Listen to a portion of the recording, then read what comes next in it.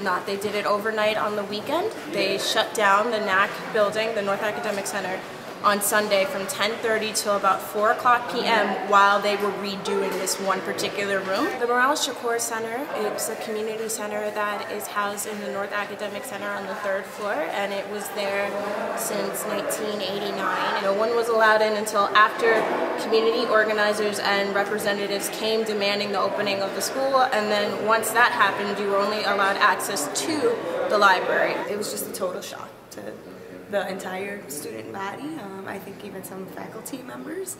And even today, there's still guards posted in front of the Morales Shakur Center, even though the room has been emptied out.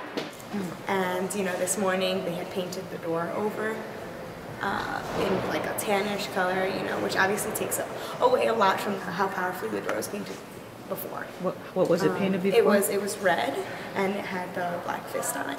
The administration has been sending internal communications to faculty and staff, but they haven't said anything to students directly yet.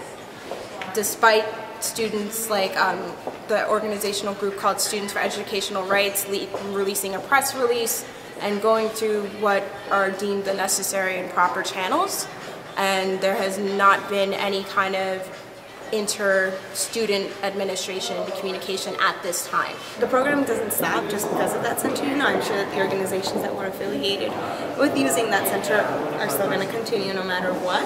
Um, however, it takes away a valuable space, you know, that was there, you know, to host student kitchens, you know, to have this book share program, you know, to uh, make preparations for different protests, different kinds of events, you know, CUNY-wide even, not just, not just from City College.